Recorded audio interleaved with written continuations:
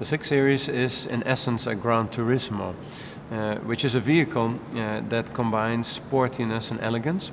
Uh, and uh, it's a sports car uh, that actually allows you to drive fast, uh, but also longer distances. It's a vehicle that you can travel with, and um, it allows you to do all of these things in style.